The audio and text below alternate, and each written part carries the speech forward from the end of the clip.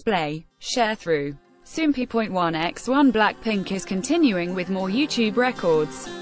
See also, BTS's Fake Love becomes fastest K-pop group 1005 to reach 150 million views. The music video for the girl group's new title track, DDU-DU DDU-DU, was released on June 15 at 6 p.m. KST. As of June 16 at 6 p.m. KST, 24 hours after the release, the music video has 33,713,799 views.